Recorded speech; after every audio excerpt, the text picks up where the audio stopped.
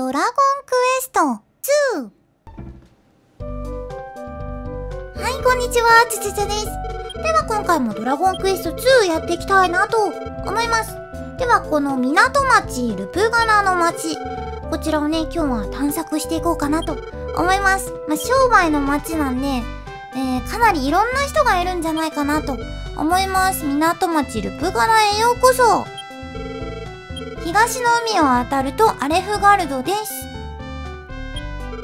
男には用はねえなーつって。酔っ払いがいる。まあ、非常に豊かな街だってことがわかります。ねえ、私って可愛いだったらパフパフしない？ちょっと怖い。怖い。口先女みたいな、そのパフパフなんて、するわけないじゃないですか。パフパフパフ。どうもありがとう。気が向いたらまた来てね。もう二度と来るか、そんな。気が向くわけない。これね、無料でできるから、無料でできるからね。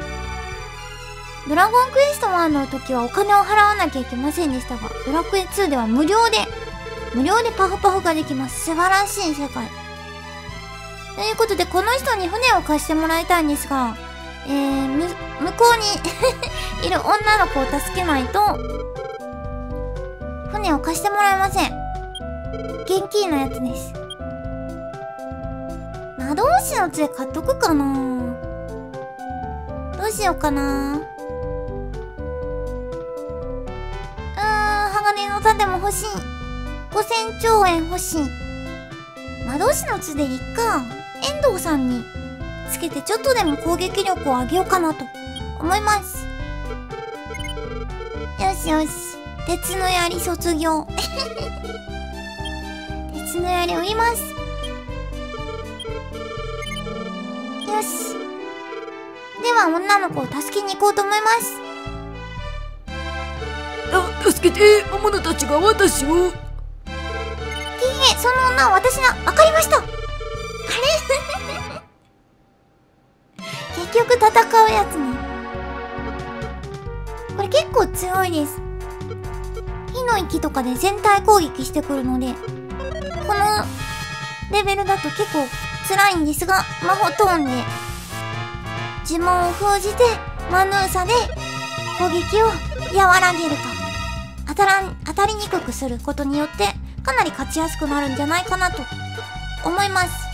このグレムリンは、えー、ラリ砲を唱えたり炎を吐いてきたりする。またヒットポイントが減るとホイミで回復してしまうということで、ラリ砲が本当に困るんですよね。なので、えーと、必ず魔法トーンを唱えるようにすると、いいんじゃないかなと思います。ドラゴンクエスト2で一番強い敵ってやっぱり眠らせてくる敵だと思うんですよね。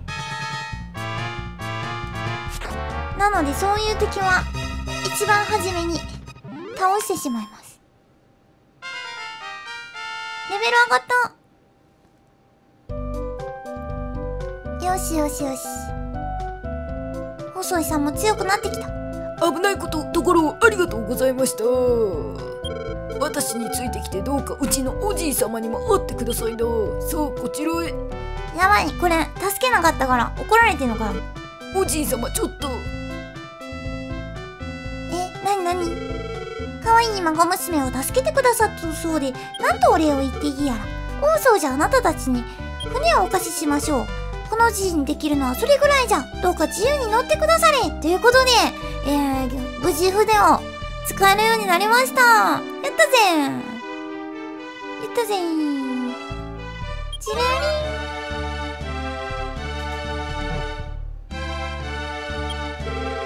嵐の夜財宝を積んだ私の船が沈みました。私はたまたま近くを通った船に助けられましたが、財宝は海の底に。それはかわいそうですね。もし財宝を引き上げてくれたらきっとお礼をいたしましょう。っていうことなんで、えー、財宝を探しに行きたいなと思います。まずは財宝の情報を聞かないとダメなのかな確か。では財宝の情報を聞きに行きましょう。行くぞ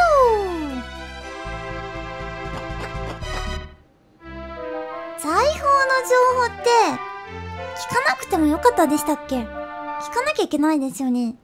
ちょっとどっちか忘れちゃいました。一応手元の資料には聞きに行ってくださいって書いてあるんで、まあ、今回は聞きに行こうかなと思います。まあ、どこに聞きに行くかと言いますと、ドラゴンクエスト1の最初の城であるラダトームの城。こちらに、えー、聞きに行こうと思います。ここ、確か、入ると音が変わる。変わりました懐かしい 懐かしいってこの間やったばっかですけどね 一週間ぐらい前までやってた。チャラチャラチャーン。ラダトームの城へようこそ時は遥か。行き過ぎ勇者の血脈帰り来る。ローレシア王子たちの祖先であるロトの血を引く勇者とローラ姫の国境。古の流星はすでに遠い。と書いてます。どれだけの年月が過ぎたでしょうか ?100 年ですね。100年です。冒頭で名機がありました。100年経ちました。ラダトームの地へお帰りなさい。沈んだ財宝の話知っていますか？ルプガラの港のそばに住む商人は昔すごい金持ちだったそうですよ。5000兆円ぐらい持ってたのかなで、ここで情報を聞いたことによって多分財宝がきらめくようになるはずです。